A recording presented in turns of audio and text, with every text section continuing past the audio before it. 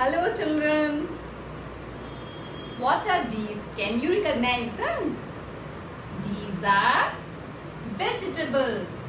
So you might be thinking what ma'am is doing with these vegetables.